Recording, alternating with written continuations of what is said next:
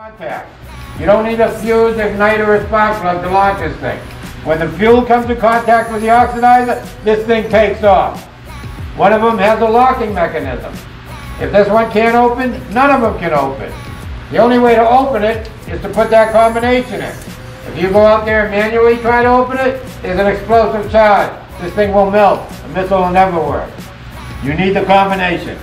We don't have it. The base doesn't have it. Pentagon has it. You'll only ever see this code if it's an actual order to launch this thing. That's the only time. Clockwise, hold it for five seconds until I tell you to let it go.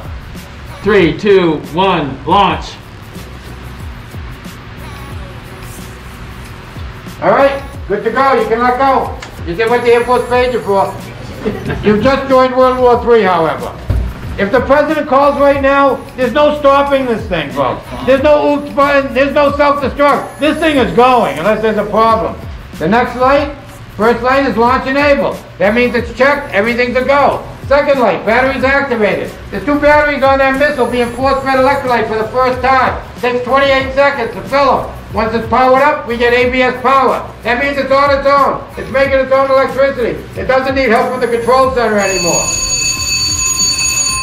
Silo soft. The door just lifted up, slid open, went through the tipsy, set off the alarm. The silo is wide open now. The next light is guidance go. The guidance computer is talking to this thing called the MAGAC for the last time. Make sure it knows where it's going, how to get there, what to do once it gets there. Fire engines, the butterfly valves are open, the two fuels are mixed. That thing is lit up. Engulfed in flames out there. All your fire alarms are going off, Captain. When the missile gets to 77% of its full thrust, the four explosive bolts that hold it down explode. And the the truth, starts lumbering up out of the hull. And then two seconds later, Captain, liftoff.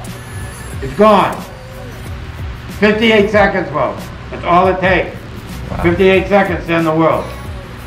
Now, the previous missile, Titan 1, took 30 minutes to launch. Hmm. Once they got the message, you would have to fill it up with fuel, raise it on an elevator out of the ground, try to launch it. We only have five minutes before one's going to hit us.